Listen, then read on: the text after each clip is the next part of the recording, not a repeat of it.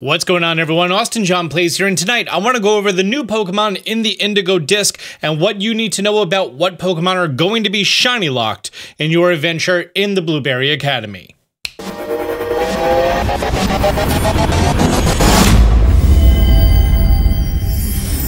I got bad news, yes I do. Bad news for shiny hunters. Pretty much everything is shiny locked. Okay, first, spoilers. In the beginning portion of this video, I'm going to be going over the Pokemon that are static encounters in the game that you're going to be walking into and having a battle with that are going to be catchable, that are or are not shiny locked. During that portion, I am going to be saying the names of some of the new Pokemon, but I'm not going to be showing them off or telling you anything about them.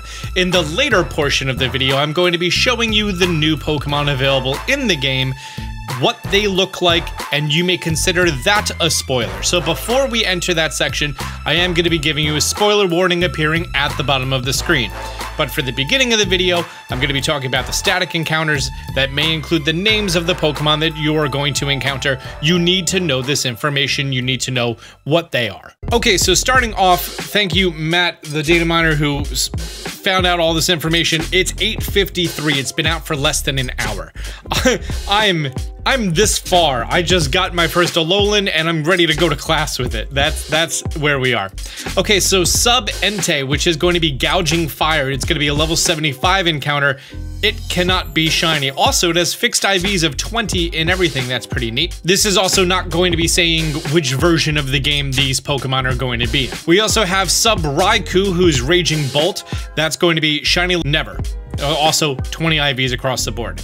Now, just for the record, I'm saying that static encounters of these Pokemon are shiny locked. I haven't played through all of the DLC yet. If they appear anywhere else, those ones are not shiny locked.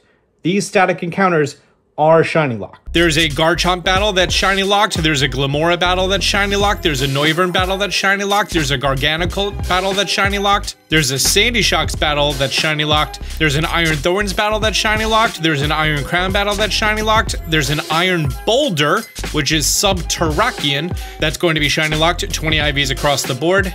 There's Pecharunt, which is going to be a new Pokemon, level 88 static encounter. It is going to be shiny locked. Terapagos, the legendary Pokemon of this DLC, is going to be shiny locked, 20 IVs across the board. There's a fixed encounter of regular Cobalion, who is shiny locked. There's a fixed encounter of Kubfu, who is shiny locked.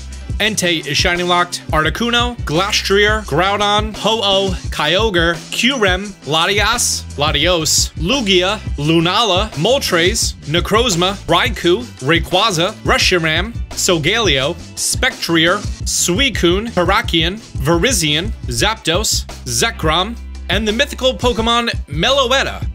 All of those Pokemon are static encounters, and as you saw by the highlight, every single one of them is going to be shiny locked. So unfortunately, Pokemon such as the DLC Pokemon from Sword and Shield are going to remain shiny locked.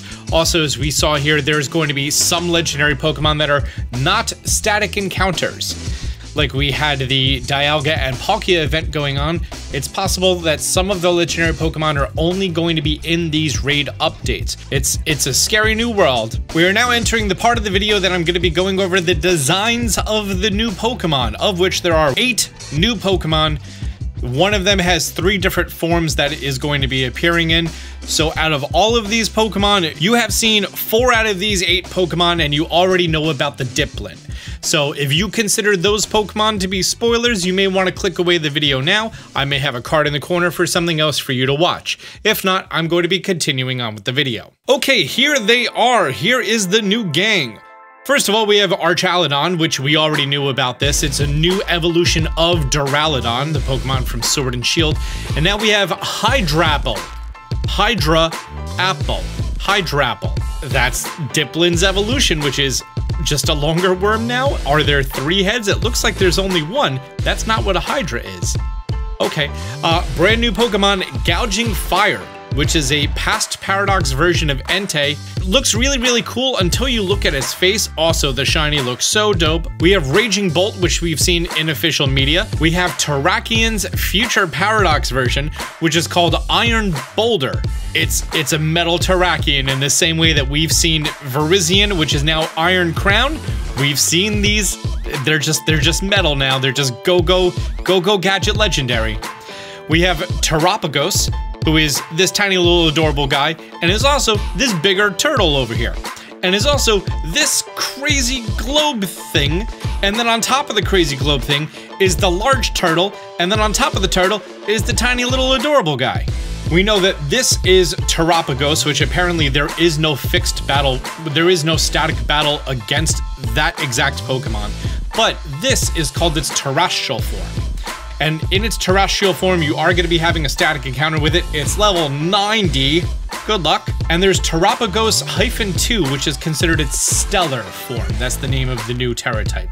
Stellar. And that's this enormous thing going on over here, which is pretty amazing.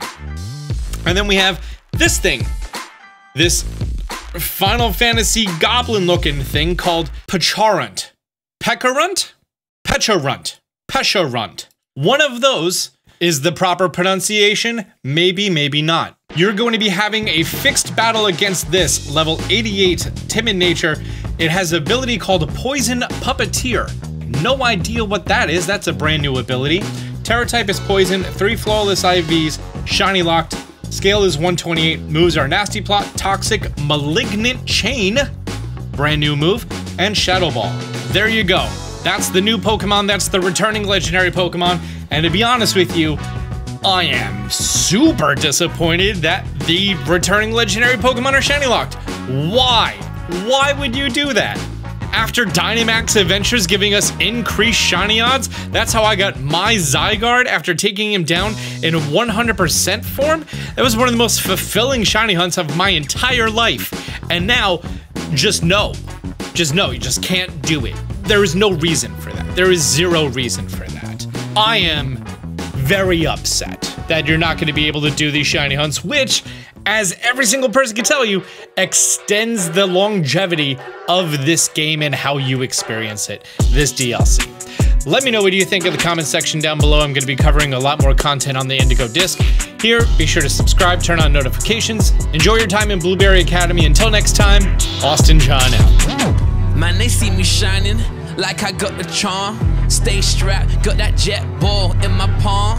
Fell from the sky, guess I'm the chosen one. And if you need to know how, check out Austin John. Champion flow, flow. Yeah, I got that champion flow, flow.